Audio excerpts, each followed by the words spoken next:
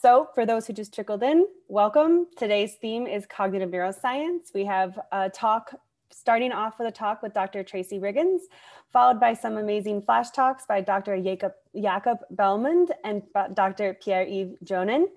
And next ses session in June, we'll be looking at uh, structural and functional connectivity. So we'll send out some more details uh, following this one. But today we're going to be focusing on the amazing talks here about cog neuro and hippocampal subfields in relations to memory.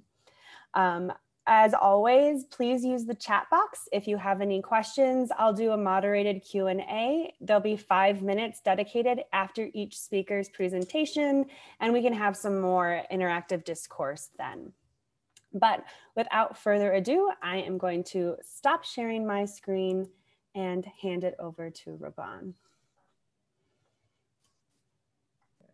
Hi, everyone. Um, I'm very happy to introduce our first speaker for today, who is Dr. Tracy Riggins. Uh, so Dr. Riggins is an associate professor in the Department of Psychology at the University of Maryland.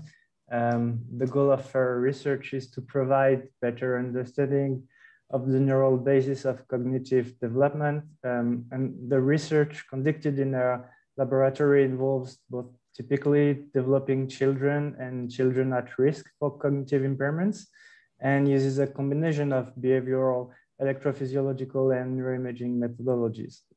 And today she will be sharing her work, development of hippocampal subfields in early childhood, relations with memory and individual uh, differences.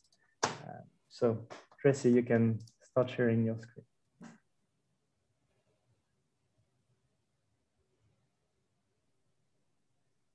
Great. All right. And you can see my slides? Wonderful. Well, thank you all so much. It's uh, for the invitation. It's really, um, I'm delighted to be here and share with you my work looking at development of hippocampal subfields in early childhood and how they relate to memory and starting to explore potential sources of individual differences. So I figured for this group, I really didn't have to motivate why I was interested in hippocampal subfields, but I did think um, it would be an important thing to talk about why memory and why early childhood. So for me, the motivation for looking at memory uh, can be captured with this quote you have to begin to lose your memory, if only in bits and pieces, to realize that memory is what makes our lives. And I think the importance of memory is especially apparent when the ability is impaired or lost. We know how frustrating it is when we forget where we put our keys. And thankfully, most of us can only imagine how devastating, you know, true amnesic disorders are. Um, in terms of why early childhood, uh, this is also related to memory for me. Um, and it stems from two different phenomenon, um, uh, infantile and childhood amnesia. So what I'm showing you here is a plot um, of the average number of memories that adults can recall based on the age that they were at the time of the event. Now, I'll be the first to admit, it was a pretty long time ago that we were all five, four or you know five years of age or younger. Um, but if I was to plot um, a forgetting function, what we see is that the average number of memories is actually fewer than expected. And this is thought to uh, be the result of two different phenomenon. The first is infantile amnesia, or the basically lack of any memories uh, for the first two years of life. And then there's an associated phenomenon, childhood amnesia, which refers to this period between roughly three to seven years of age, where we have fewer memories than we should based on forgetting alone, but we but we are able to hold on to several, you know, a few memories. And so this phenomenon, um, as, a, as I was trained as a developmental psychologist, has always been of interest to me. But as I said, these data are from adults. And so one of the first things that I was interested in is, the, is this same um, uh, childhood amnesia phenomenon true in children? And indeed, uh, work from uh, Carol Peterson and her group suggests that it is. So um, using a very similar paradigm, they actually tested young children um, and had them recall details when they were either, you know, between four and 12 years of age of recent life events and they observed how much of those events they could uh, recall after a two year period. And basically, the, the um, results mirrored uh, that that was that uh, are found in adults. So this phenomenon is sort of as true for um, eight-year-olds as it is for 80-year-olds. Now, one of the sources of uh, why this might be the case um, may be due to prolonged brain development. And when I started this work uh, back uh, no, a number of years ago, much of what we knew about hippocampal development came from studies um, in non-human primates. And so I'm showing some of that intricate circuitry here. And uh, work by several groups um, has uh, delineated um, sort of this uh, schematic uh, representation of the hierarchical organization of those pathways through the different regions of um, the hippocampus.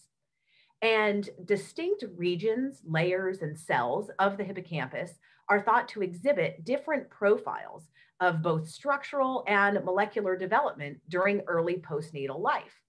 And so that can be illustrated here um, with this uh, figure of the schematic of the circuitry in a juvenile, where you see a protracted period of development um, in the dentate gyrus and regions downstream, such as CA3. So you can see that uh, those regions are uh, depicted here in the adult, but they're sort of, you know, missing from uh, this schematic for, for the juvenile. And that can be contrasted with other regions such as CA1, which is thought to mature a little bit earlier, um, receiving its direct projections from entorhinal cortex, or CA2, um, which is highly interconnected with subcortical structures. And um, so uh, the outline for my talk, uh, we the goal of my work early on was to track uh, the development of these hippocampal subfields in human children, and then also look at their relations with memory. So I'll be talking about the same sample of children throughout my talk um, and really highlighting four different analyses that we've done over the years. Um, so the first one is a cross-sectional study in children who were between the ages of four and eight years. The second analysis is a longitudinal follow-up. And then uh, we've just started to look at some uh, sources of individual differences. So I'll highlight two different analyses looking at um, potential impacts of stress and uh, sleep. And this work was all um, funded by the National Institute of Health. So to introduce you to our sample, um, we recruited 200 children between the ages of four and eight years of age. Half of them were female, and you can see some other demographic uh, characteristics here. And um, uh, the overall design for each study visit was that the children came to the lab and participated in our um, encoding portion of our memory task, which I'll tell you about in just a minute. And then after about a week delay, they returned and they did the retrieval portion of the memory task and participated in our uh, MRI procedures. So briefly, the memory task was borrowed from the literature. It's uh, the novel fact uh, source memory paradigm used in both adults and children uh, in brief, we uh, teach children novel facts, such as those seen here, from one of two sources via a video. So they either learned um, fa facts from a, a, puppet, or they learned some facts from a puppet, and then some facts uh, from a female experimenter.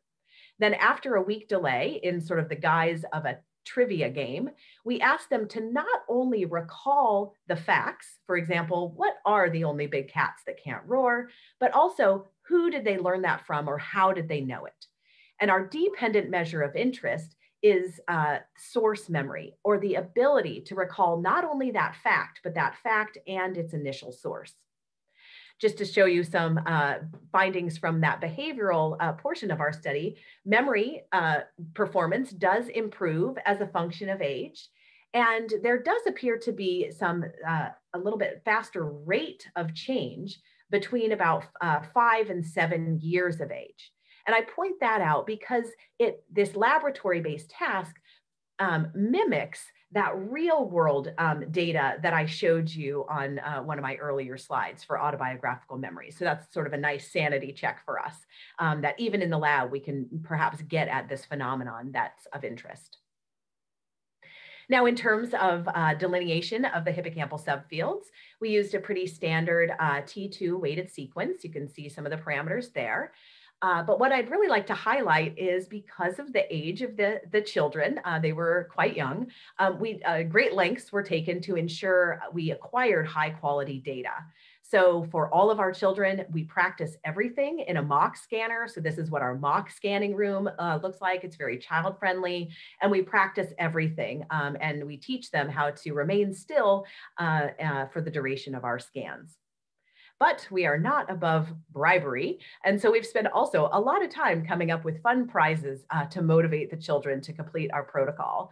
Um, so that ranges from t-shirts with a picture of their own brain on them temporary stickers and tattoos with pictures of their brain, a 3D printing of their brain image in the color of their choice. And then for our littlest guys, hey, we'll even put a picture of their own brain on their teddy bears t-shirt.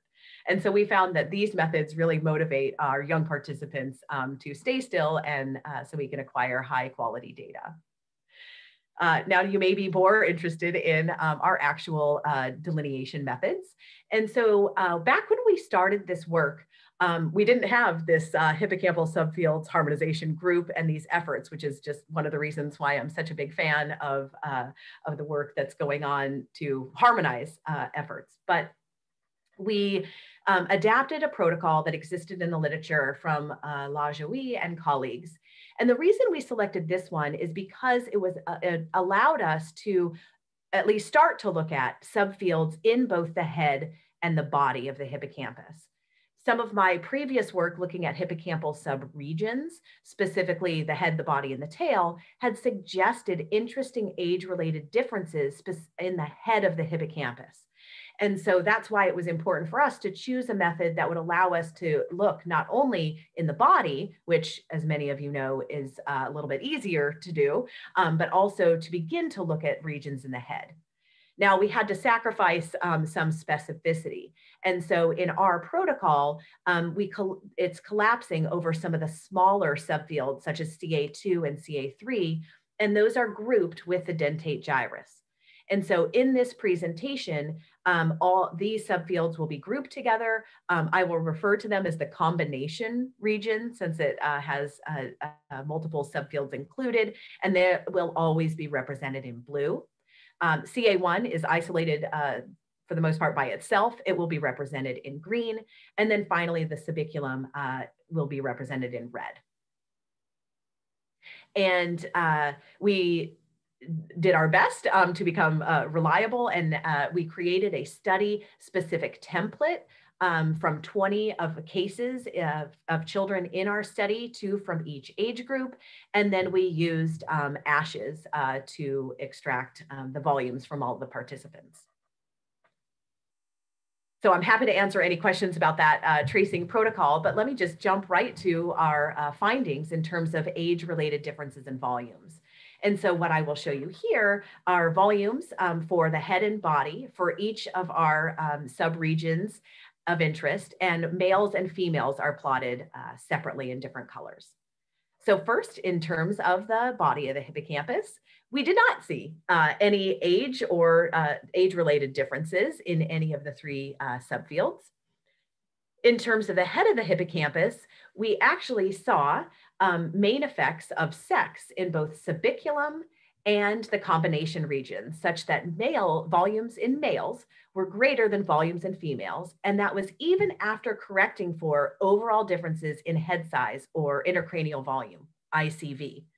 I should note at this point that all of the analyses I'll talk about today, we always do correct or control for variations in intracranial volume. Um, the one region that we did see age related differences was in CA1 in the head of the hippocampus. And it appeared to be a quadratic function sets such that volumes in the middle age group of our sample were appeared larger than either the younger or the oldest group. And so I'm going to use this uh, sort of green um, line here to kind of represent uh, the, the findings of those age-related differences. Now, in terms of my second question, how did volumes, uh, or, or rather, did volume, these volumes relate to performance on our source memory task? And so uh, what we found was, um, here I have source memory performance plotted as a function of volume of different subfields. And what we found was that volume of the combination region in the, in the body of the hippocampus was positively associated with uh, memory performance. Larger volumes were associated with better memory. In contrast, in, for CA1 volumes in the body, we saw an opposite pattern, such that smaller volumes were associated with superior memory performance. And then finally, in a third region, we found an, a dissociation with age. Um, for CA1 in the head of the hippocampus, we found that larger volumes uh, were associated with better performance for younger children, but that smaller volumes were associated with better performance for older children. And at first blush, uh, transition like this um, might be somewhat surprising, but I'm going to kind of bring back that schematic representation of the age-related differences in volume and remind you that kind of the maturational profile that was suggested from our cross-sectional data was sort of an increase in volume followed by a decrease in volume. And so if we consider um, kind of the maturational profile here, this pattern um, begins to make a little bit more sense. Um, however, um, in order to really address that question, and if there is a developmental transition, of course, longitudinal data are needed. So just to summarize, um, in this initial study, we did see that volume of the hippocampal subfields were related to uh, differences in memory, particularly during early childhood, but that this varied both with region and age. So in some regions, bigger was better. In other regions, smaller uh, was associated with superior memory performance. And in yet other regions, such as the uh, CA1 subfield in the head of the hippocampus, there was a dissociation with age, that for younger children, larger volumes were um, associated with better performance, whereas in the older children, smaller volumes were associated with better, um, better performance. And as I mentioned, this suggests a very interesting developmental transition happening, um, but around that period of time. But that to address that, we do require longitudinal data. That brings me to the second analysis that I wanted to tell you about today. Um, we followed 100 children in our sample for a period of three years using an accelerated longitudinal design. And so what I mean by that is that we took um, the four-year-olds um, and we followed them um, and did the memory assessment and MRI assessment each year for a period of three years. I'll refer to them as our four-year-old cohort. We did the same thing with the six-year-old cohort. And the reason this is called an accelerated longitudinal design is that in this way, we only had to wait three years, um, but we were able to track longitudinal changes, both in memory and in um, hippocampal subfield volumes across this period from four to eight years of age. So this is a little diagram of our resulting um, uh, study or sample where um, some children had two to three data points indicated by the dots and the, and the bars, whereas um, other uh, children in our sample just had the one data point. Um, but you can see how we're able to sort of um, track uh, across this whole period. Now to actually model this longitudinal change, I had to find an expert.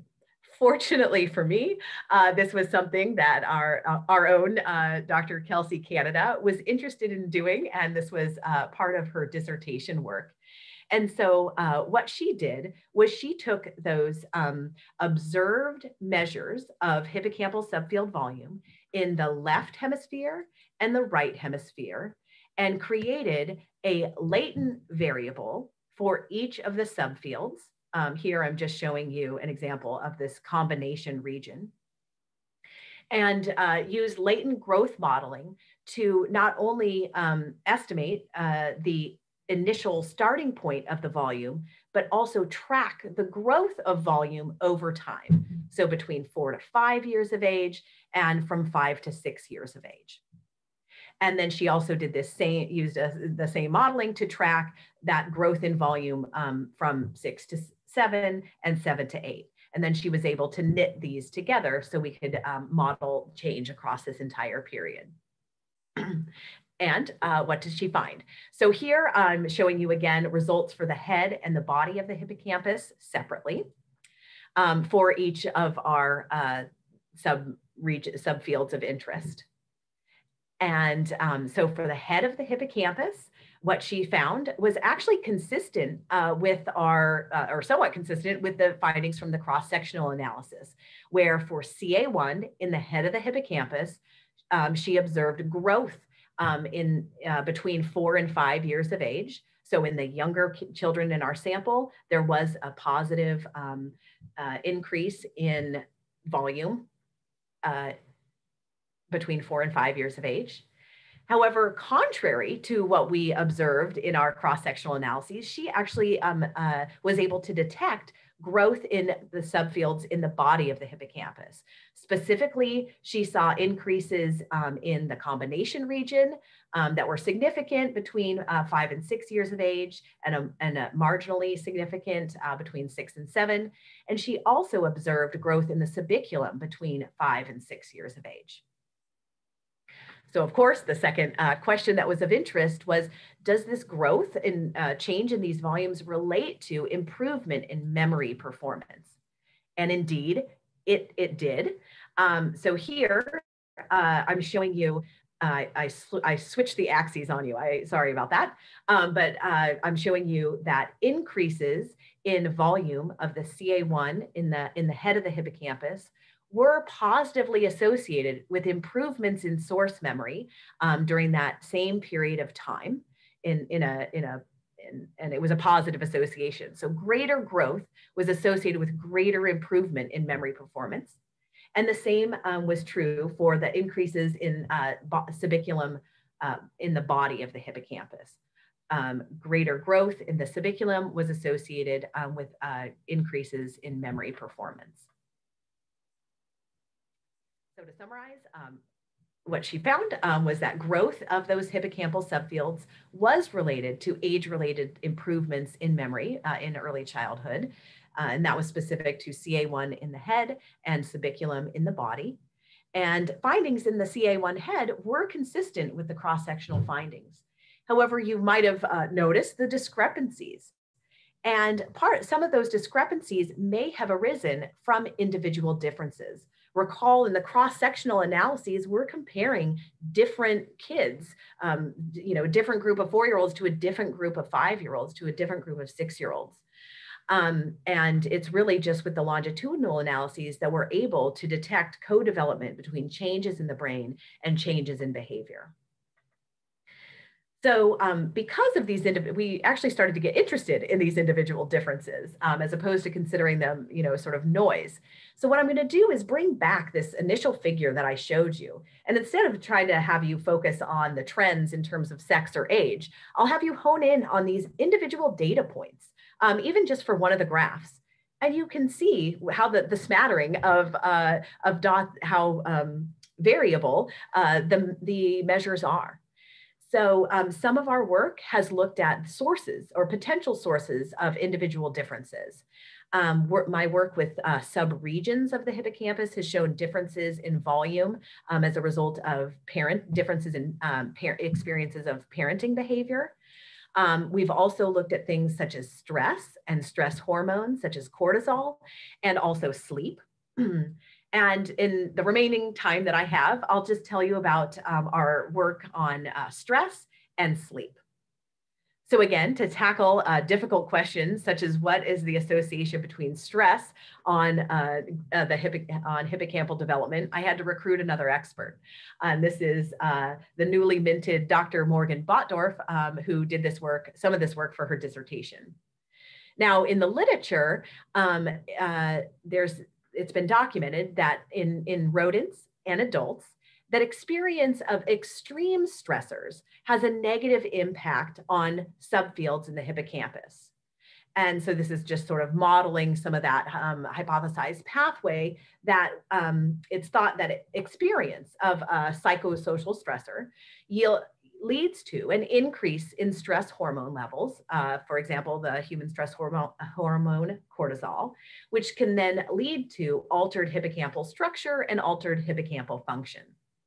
Now, I told you um, in our sample, these were typically developing children. So um, what uh, Morgan did was not look at extreme stressors, such as experience of childhood maltreatment or um, severe uh, poverty Instead, she asked the question, are more frequently experienced but less traumatic stressors associated with hippocampal uh, development.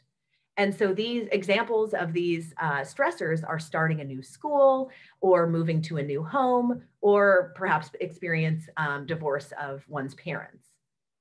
And so uh, more, what Morgan did um, was in addition for our uh, cohort of children, she not only had um, their uh, measures of their hippocampal subfields, as I've described before, but she also asked parents to complete a stressful life events checklist at the initial um, visit for both the four-year-old and six-year-old children. And what this uh, questionnaire was, is it asked parents to report on 52 different life events that could have occurred in their child's life within the previous year. Parents rated whether the event occurred or did not occur and what effect it had on their children. Morgan used this to create a stressful life event score, um, which took into account both the number of the events and also the severity of the events. Now, for the four and six year old cohort, this is what she found. As I said, these were typical developing children, so their stressful life event score were not very um, high, but there was some variability in the sample. And importantly, the average levels of um, or av- average stressful life event scores were similar between the four year old and six year old cohorts. You might be interested, what were some of the most frequently reported events?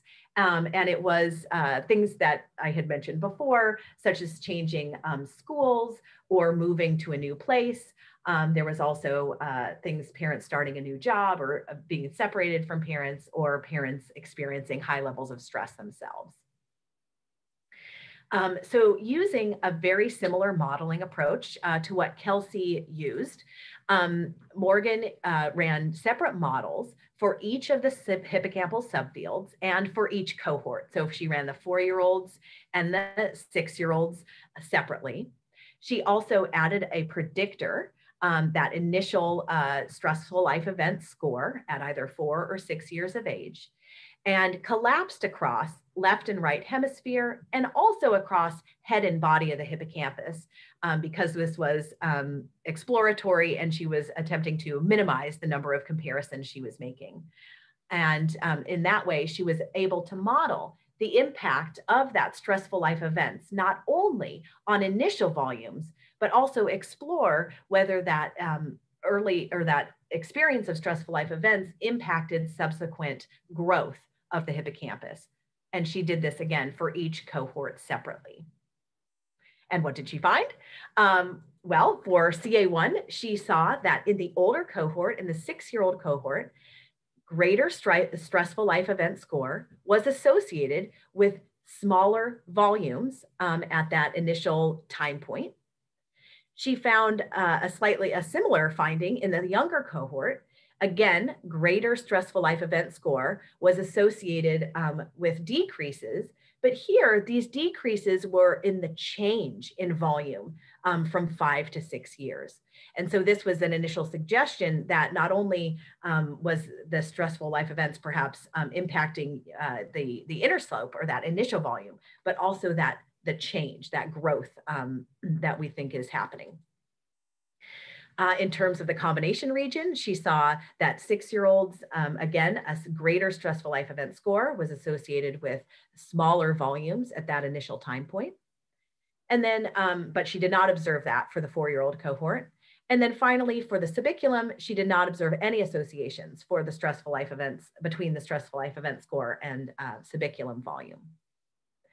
So to briefly summarize, um, it, this um, is consistent with the hypothesis that experiencing um, more stressful life events uh, was associated with smaller hippocampal subfield volumes. These effects were uh, region dependent, um, seen primarily in CA1 and that combination region. But the direction of the effects were in line with studies um, on extreme stress in rodent um, and human samples in the literature. All right, and last but not least, I wanted to tell you briefly um, about the work that we have started doing on sleep. And this is done in uh, collaboration with Dr. Rebecca Spencer at the University of uh, UMass Amherst.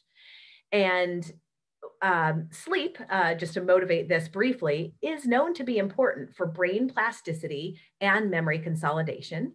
And early childhood is an important time in our lives in terms of sleep as we transition from biphasic to monophasic sleep. So, um, this is the time period where preschoolers um, go from being habitual nappers to um, then transitioning to not needing the nap and um, again having a more monophasic sleep pattern, just sleeping with that one sleep out overnight. Um, now, I've already told you that my work has sort of linked development of the hippocampus to memory development. And what uh, Be- Re- Rebecca Spencer's lab had, has shown is that this transition from biphasic to monophasic sleep is also related to memory development. And so, sort of what we wanted to do is put our um, our uh, bodies of work together and address sort of this other side here, and ask the question of how all these things fit together. And so, in short, um, a hypothesis that we've put out there, um, and and we've talked and others have sort of written about as well, is um, perhaps the development of the hippocampus leads to an increased capacity to, uh, for memory, and that subsequent memory development leads to a reduced pressure to nap, and ultimately results in this sleep transition.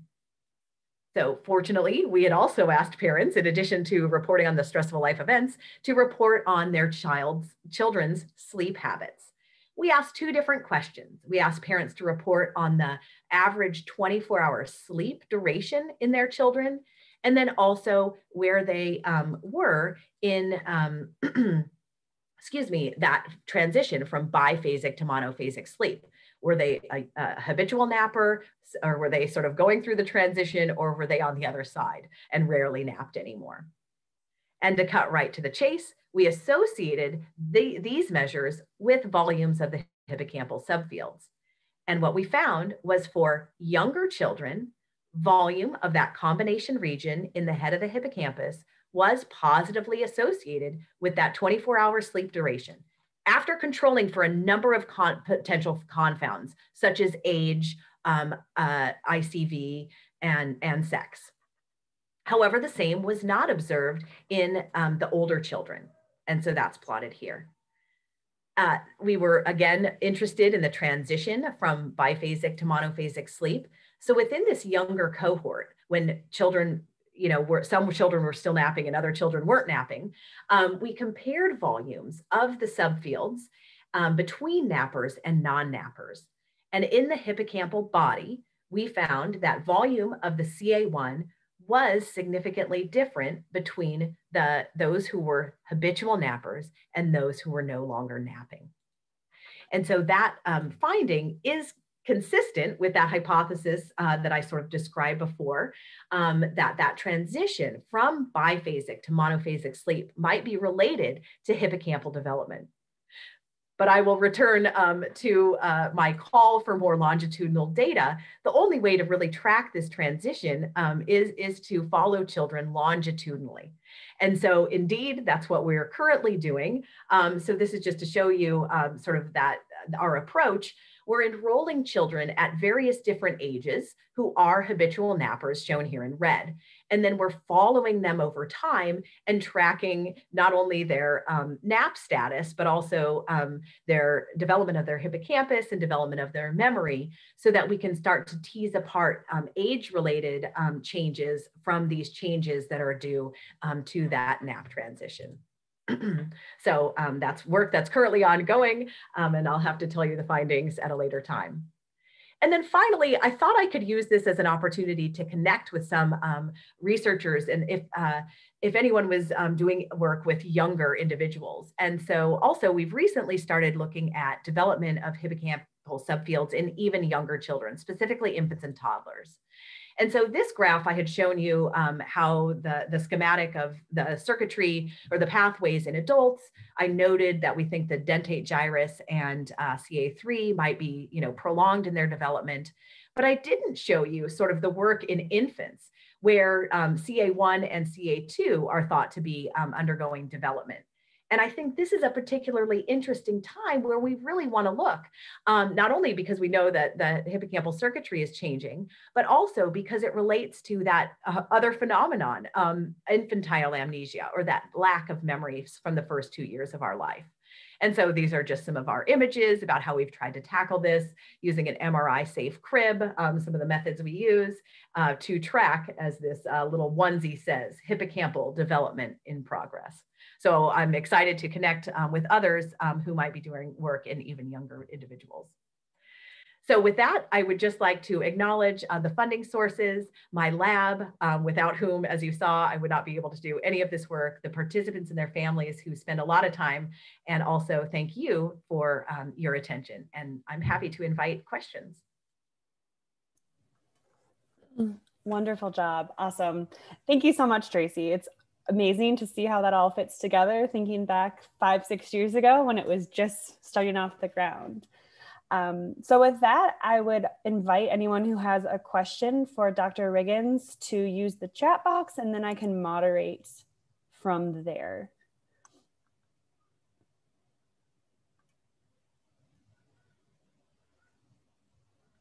and I will reiterate, I, this is one of the reasons I really am fond of this group and um, am eager to participate in the harmonization effort so we can um, you know, ultimately combine data. And uh, I learned a lot from, from all of the presenters here. So thank you so much. All right, so we have a question from Cameron Ellis, who I was wondering if he would he would pop out. He was interested about what protocol you intend to use for the infant subfield segmentation. He would love to share notes because, as you know, he and Nick Turk-Browne are are working with the little little ones. Exactly. Uh, Cameron, uh, perhaps we can set a time to meet afterwards. Um, we've recently just uh, acquired those data, and so we're just starting to consider our options. And so um, I know you, you know, probably have some expertise, and and so I think um, I'll just answer your question, or you know, say we should talk. I would love that. That'd be great. Great. Thank you so much. Okay. All right, Jakob has a question for the first part of the talk. To what extent are findings specific to source memory? Would you expect different results with different behavioral paradigms? Uh, for example, looking at recognition memory or tasks requiring pattern separation? Oh, thank you for that question. Um, so we did actually have a battery of um, memory tasks, and and so we have we've been able to look at that. And I will just again highlight uh, some of Dr. Canada's work. Um, she looked specifically at a mnemonic similarity task um, in, in a cross-sectional sample um, and published those data a couple of years ago um, in cerebral cortex and, and found indeed that performance on the mnemonic similarity task um, thought to uh, require pattern separation was indeed related to volume of that combination region um, that included um, CA3 and the dentate gyrus. And so um, we, we, I don't necessarily think they're specific to source memory. So we have looked at at least um, and published that mnemonic similarity paper. So I would definitely um, have you look at that one. And then also, as I told you, I'm interested in autobiographical memory. So memory for real world life events. And um, we have uh, some data where we interviewed children about their life events. And so that's something that's ongoing. Um, so in short, I don't think it's specific, you know, to that to that memory paradigm. And I think that's a really important thing to do is, is start to look at um, tasks where there are associations and then tasks where there aren't associations and, and sort of tease that apart. So. Awesome. Great. Well, I will thank you again, Tracy, for that phenomenal presentation. And I look forward to seeing uh, what's up in the coming in the pipeline. And I will swivel back to Robin and uh, Jakob, you could probably start sharing your screen while he gives your intro. Yeah, so I'm happy to introduce our second speaker, is uh, Dr. Jakob Bellmund. Uh, so Dr. Bellmund is a postdoc at the Max Planck Institute for Human Cognitive and Brain Sciences in Leipzig, Germany. Uh, his research interests include spatial navigation and episodic memory, and is most curious about how coding principles in the hippocampal and entorhinal region enable flexible cognition. Uh, in his research, he combines fMRI with uh, behavioral experiments and virtual reality technology. And today we'll be sharing his work, uh, the hippocampus constructs sequence memories that generalize temporal relations across experiences. Uh, yes, thanks for the kind introduction, Robin, and uh, thanks, Kelsey and uh, Robin, for putting together this uh, great webinar and giving me the opportunity to speak. Uh, so I want to talk about some new data from an fMRI project that I've been working on. And I hope to convince you that event memories in the hippocampus store actively constructed times of events and that they generalize temporal relations across different sequences. So the notion that memory is a constructive process probably goes back to Bartlett almost 100 years ago, when he already pointed out that our memories are not veridical records of the past, but rather are constructions. And today I want to talk about constructive sequence memories. So in some circumstances, temporal memory can also be constructive. Consider, for example, the question, when did your mom call yesterday? The precise time when your phone rang might not be part of your memory. But you do remember that you were watching a football game and you know that those start at nine. And you also recall that you went to bed at 11 and somewhere in between she called.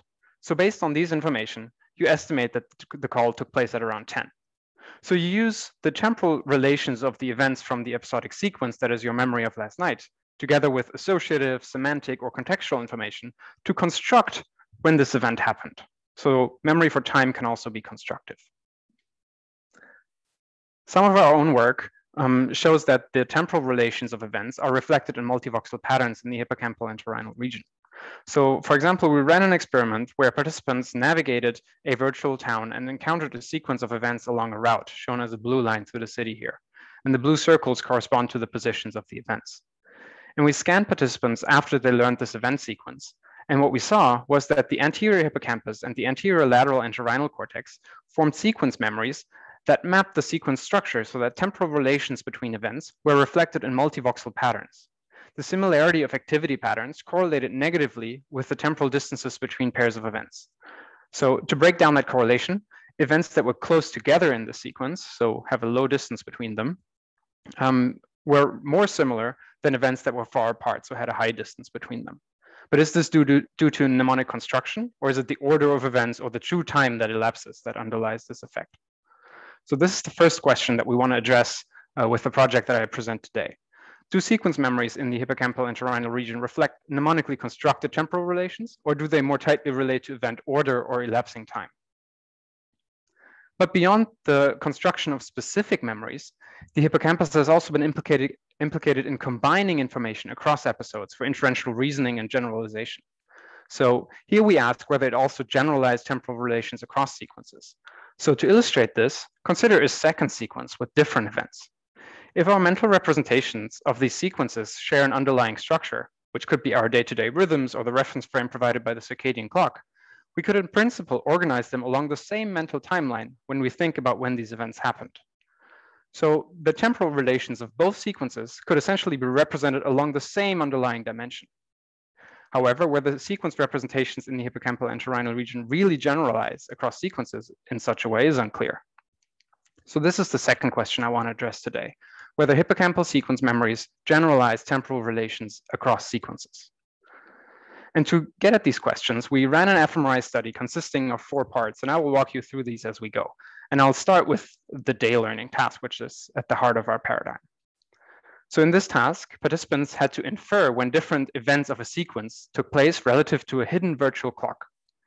And the virtual time of each event was fixed, but um, the current virtual time was revealed at varying um, points, uh, once in between each pair of events. And these are what I call time cues. And so to construct the event times, participants had to combine their experience of passing time when the screen is black uh, with these infrequent time cues. And we asked participants to learn the virtual time of four sequences consisting of five events each. And so we want them to learn the virtual, or want them to learn the times relative to the hidden virtual clock, so to construct these times. But it could also be that they only pick up on the order of events in the sequence, so event position one, two, three, four, five. Or it could be the real time in seconds that elapses between events that drives learning. And to partially disentangle these time metrics, we varied the speed of the hidden virtual clock between the four uh, between the four sequences that we asked participants to learn. To test participants' memory, uh, we uh, administered a so-called timeline task at the very end of the experiment. Uh, here we asked participants to drag the events of a sequence to a timeline. And here I'm showing you the raw data um, separated in four rows for the different um, uh, for the four different sequences. And at the bottom in the, along the gray line, you see the true times of events. And on top of that, in the rain cloud plots, you see the, see the single participant responses. And what you can already see just by looking at the raw data is that uh, the response distributions are nicely centered on the uh, correct event times. And indeed, if we look at the errors that participants make in that uh, event time constructions, these are very low, um, below one virtual hour um, on average. So participants form very ac accurate memory for the event times.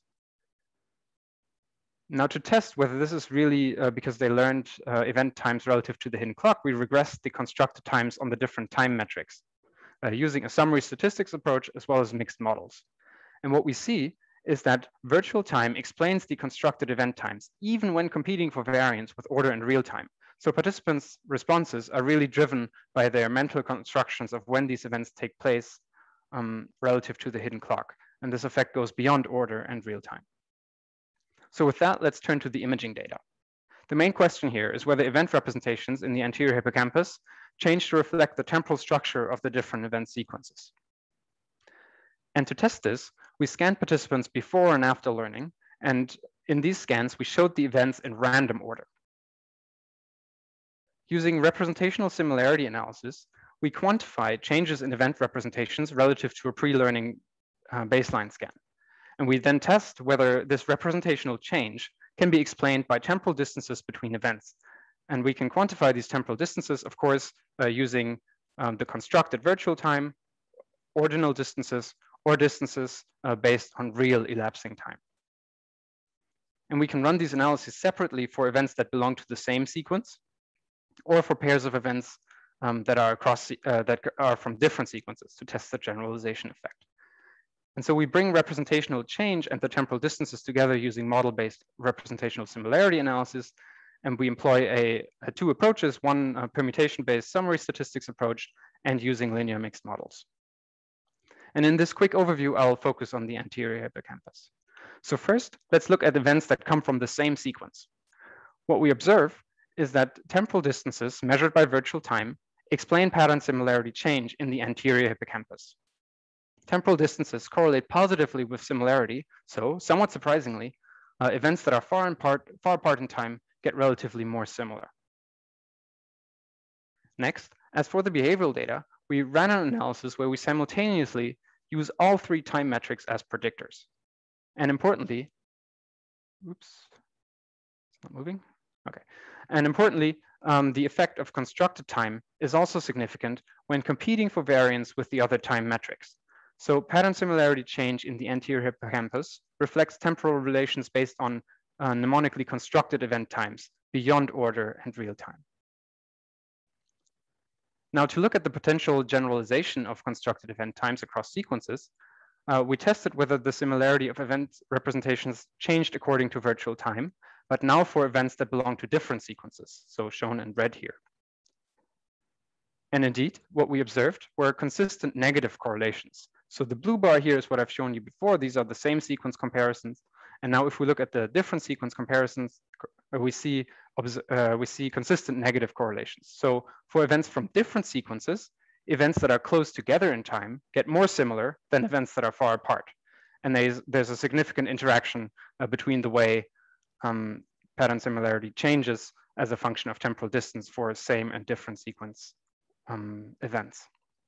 And to illustrate this a bit more, I can show you uh, simply the raw pattern similarity change values separately for same sequence event pairs shown in blue and different sequence event pairs shown in red. And what you can see is that for same sequence events, uh, similarity is higher when temporal distance is high rather than low. Uh, and the uh, reverse is true for, um, for different sequence events. So the way event representations in the anterior hippocampus reflect constructed times depends on whether events are from the same sequence or not. So to sum this up, um, our data show that participants form fine-grained memories of the virtual day structure. They successfully construct the event times from the time cues and their experience of passing time. And it's really this constructed time that drives their responses in the timeline task, not just the remembered order or actually elapsing time. In the hippocampus, we see that event representations change from before to after learning to resemble temporal relations. And importantly, it's the constructed event times that shape hippocampal sequence memories, above and beyond the effects of order and real time. And intriguingly, temporal relations also shape representations of events that belong to different sequences. So knowledge about the temporal structure generalizes across sequences. And one important thing to note here is that the way temporal relations shape these hippocampal event representations depends on whether events are from the same sequence or not. And there's a lot more in this uh, data set that I couldn't present today, but if you're curious, uh, check out the preprint. So for example, we can show that there's an anatomical overlap uh, between the mnemonic construction and the generalization effect. Uh, if we compare our main regions of interest, the anterior hippocampus and the lateral entorhinal cortex, uh, there's a dissociation in the way they uh, encode temporal relations um, and sequence membership. And lastly, we also show that uh, on the behavioral level, structural knowledge about the sequences biases the construction of specific event times, showing that uh, mnemonic constructions uh, mnemonic construction is not only facilitated, but also biased by general knowledge. So if you're curious, um, make sure to check out the preprint. And with that, I'd like to close and thank you all for your attention. And I'm looking forward to your questions. Wonderful. Thank you, Jakob. That was so elegant and really exciting. I, I can't imagine when you were like, oh, there's more. I was like, that's that's great. I can't re- wait to. Uh, I've read the preprint when you sent it to me, and I can't wait to read it again with some of the insight that you provided here of what you hit as your highlights. Um, so I would like to again invite uh, anyone who has a question to first just type it quickly in the chat box, or if you're Rosanna, you get special privileges, so you can just ask right away. Hi, very nice talk, beautiful study. I was just curious if there were, um, for the fast clock and the slow clock, were those times selected on sort of biologically informed um, processes that you think might be occurring at either a faster or, a slower time scales? Um, actually, no. So um, we didn't have any uh, meaning, in, or so we fully randomized uh, the events. So the events um, are screenshots from The Sims. So they are sort of lifelike events like reading the newspaper, running on a treadmill, and so on. And we've done a uh, pilot study in which we asked participants uh, to rate when they think these events are likely to take place during a day and selected the ones where people thought it was most ambiguous because we wanted to randomize them, uh, randomize the assignment of days to sequences and positions across participants so yeah uh, but it would be interesting to like actually add meaning to this right? And uh, yeah take it a step further. Yeah good question. Thanks.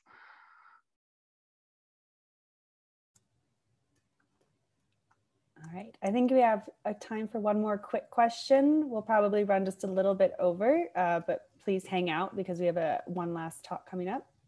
Um, so uh, from the chat uh, shane o'mara Perhaps you might comment on how your task maps to theories of mental time travel. Um, yeah, that's an interesting question. So um, in, in the data that I've shown you today, right, we're looking at the, uh, at the period where we show the event images in random order, right? Um, so um, one thing that could um, could be going on here is that participants sort of um, uh, when, when seeing or when being cued with one of the event images uh, that they mentally um, reinstate that sequence of events. Um, but they might be doing this in a sort of um, schematic way, uh, giving rise to this uh, generalization effect that we uh, that we also see. Mm, but of course, uh, these are not, or I mean, these are lab stimuli, right? So they're um, they're fairly complex in that they are the, from this life simulation game, um, but still they're static images, right? So uh, it's not like um, participants are really engaging in mental time travel to uh, of of a previous autobiographical uh, memory, basically like reliving this uh, this experience. Awesome.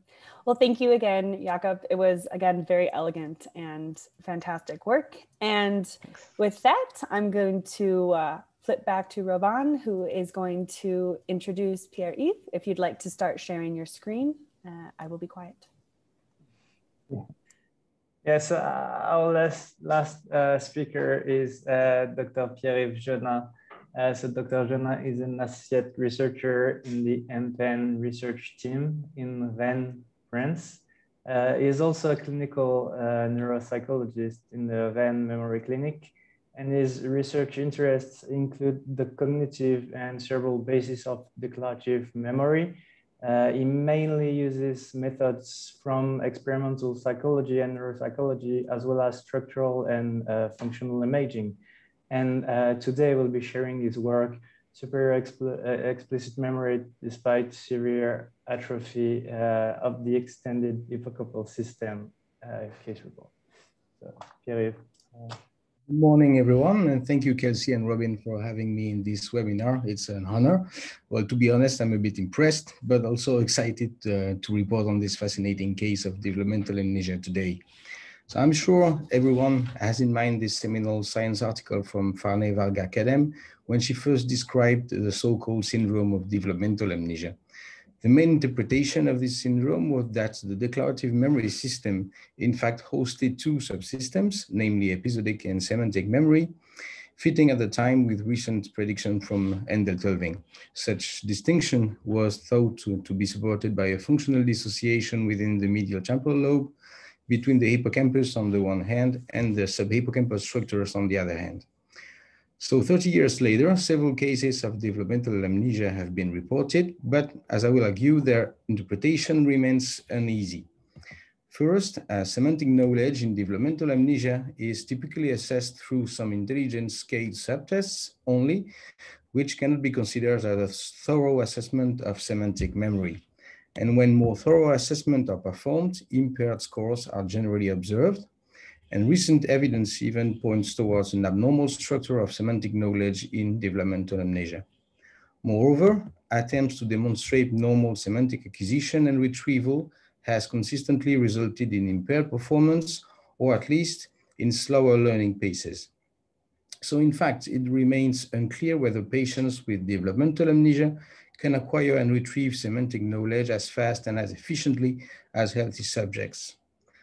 Moreover, and at least in some cases of developmental amnesia, like here in the three seminal cases, significant residual episodic learning abilities are observed, and their potential role in supporting the low to normal levels of semantic learning have certainly been overlooked so far.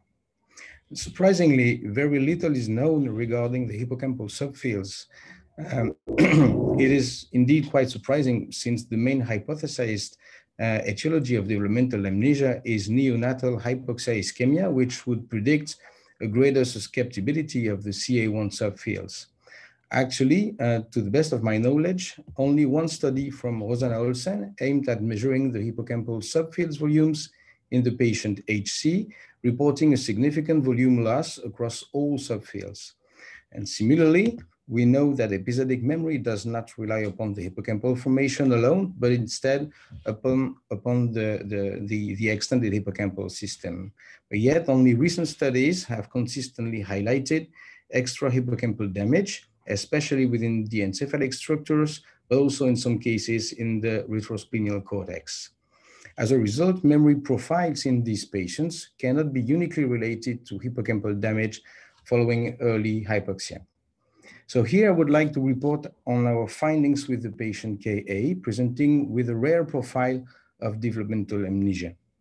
Patient KA is a right-hander male who was age 27 when we first met in 2009. He experienced severe neonatal hypoxia in the context of preterm premature birth and presents with a typical anterograde amnesia profile with severe day-to-day -day memory loss.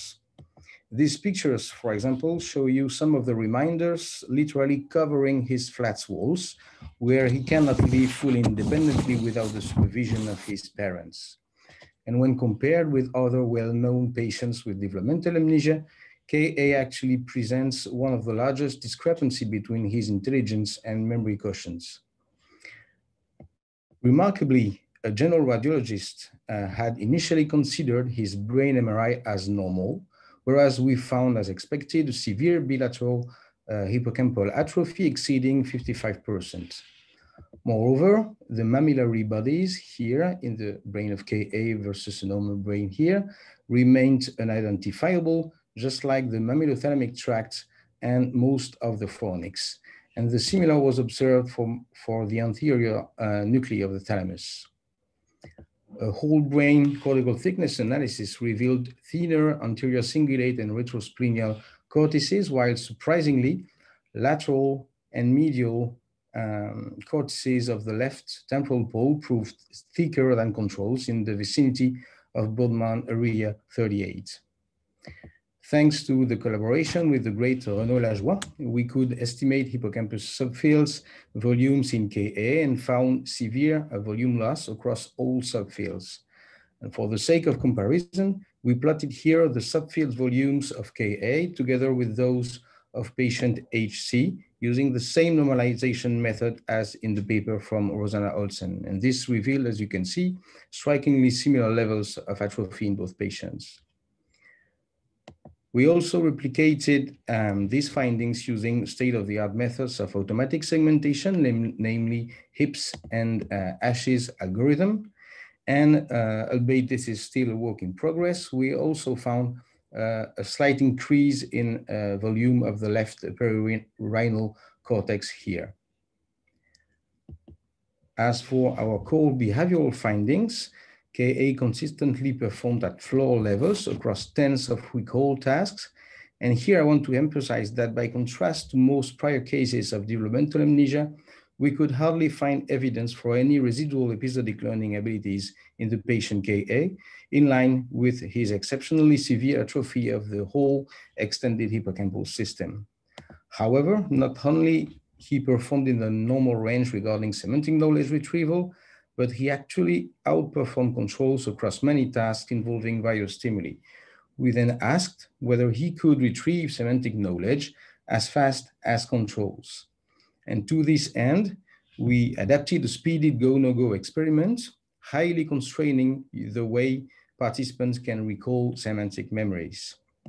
So pictures were quickly flashed for 100 uh, milliseconds and participants had a 600 milliseconds response time window to make their go or no-go response, which was followed by an audio-visual feedback. Such a short response time window made the task quite hard even for young controls. And in the first categorization condition, human face uh, were used as targets where lures were animal faces.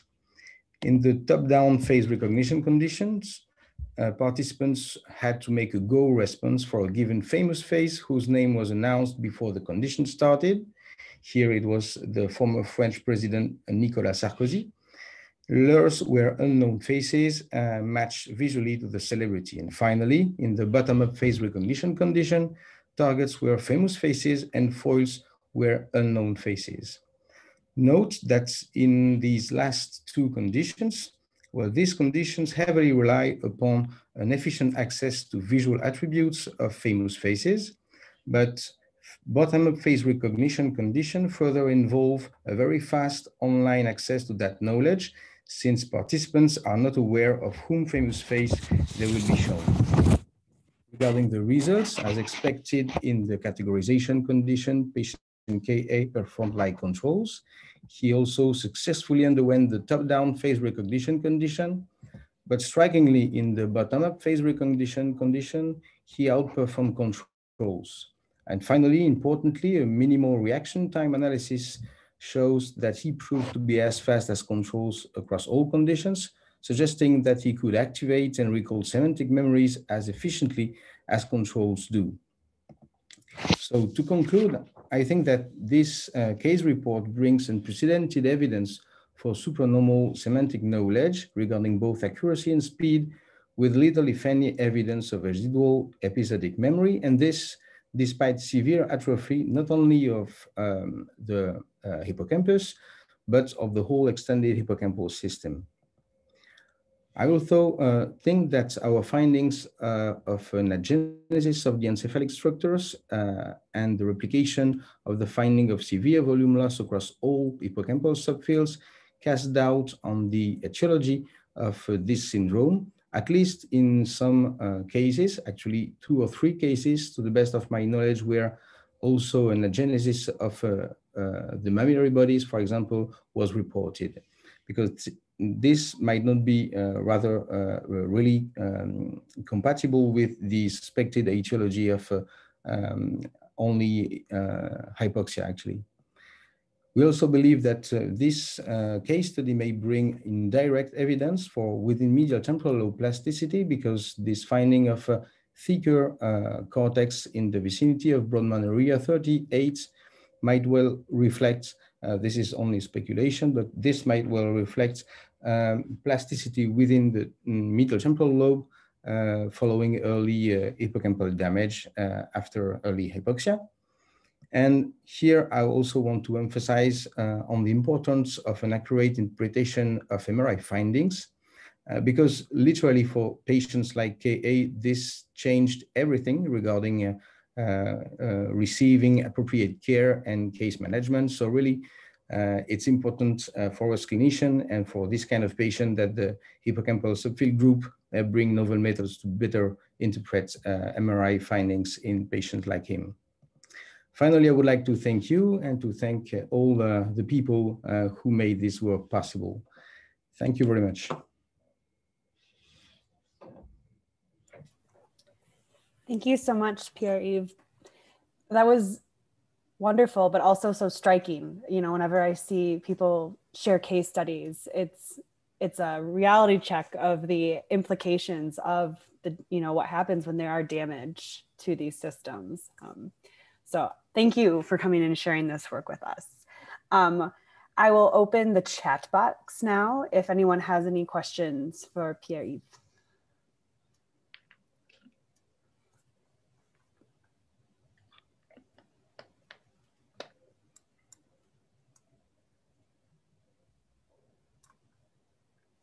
Or if you're Rosanna, you can use your special privilege. I mean, I could probably talk to Pierre for an hour about this case because it's very interesting to me and highly related to my work. Um, but um, I wanted to see if anybody else had questions first. Um, I just wanted to say that um, we also, you know, definitely saw that um, in our case HC that she had sort of, it wasn't statistically significant, but it was um, you know, much more of a preservation of her MTL cortices, especially actually parahippocampal cortex, if, my, if memory serves. And um, she has a very deep collateral sulcus, which I believe your patient also has, and also that sort of um, uh, mal, malrotated hippocampus. So that pattern is actually very similar. And so I would suspect that their etiology might be very similar. Thanks. Um, Shane O'Mara has has commented or chatted, apologies if I missed it. Can you comment on the status of the pre and post com commissural fornix in this patient?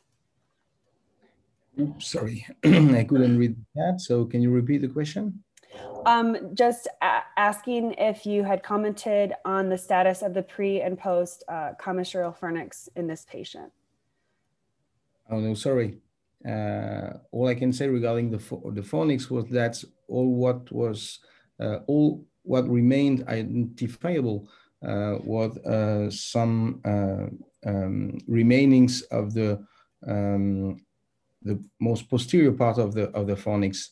I always missed it. Uh, is it the, the the pillar of the columns? I just sorry, I don't have it now, but nothing else from the fornix remains identifiable as far as uh, as uh, as I could say. And Rosanna chimed in and said it looked like most of it was missing to align with what you just said. So hopefully that um, answers that question. Um, okay. So I want to thank everyone again for joining us today and for hanging out. Um, because I, I talked a little too much at the beginning as I waited for everyone to trickle in. But I'm so grateful that we have such a great group who is engaging with these webinar series and that we had such wonderful speakers today. So thank you again to Tracy, Jacob, and Pierre-Yves for sharing your fantastic work. I really am glad that we have that as a resource too. Um, this will be, this was recorded, it's being recorded and it'll be on YouTube by, by Friday. Um, so that if anyone you know wanted to make it and couldn't attend, or if you're like me and you wanna go back when you're not stressed about making sure technology issues go on, you can watch it again. So Thanks to everyone, and we hope we'll see you next month. We'll have Dr. Maureen Ritchey um, sharing some work on structural functional connectivity, and we're confirming the Flash Talk speakers in the meantime. So thanks, everyone. See you then. Thank you. Goodbye. Bye.